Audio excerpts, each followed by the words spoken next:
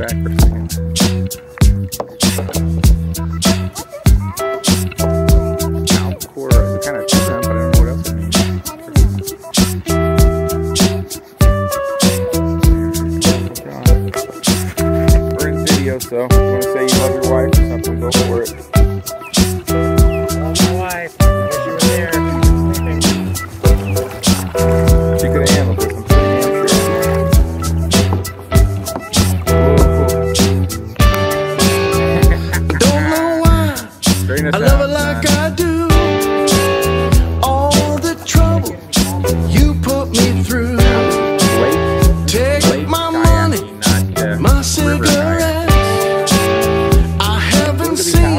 All the worst of it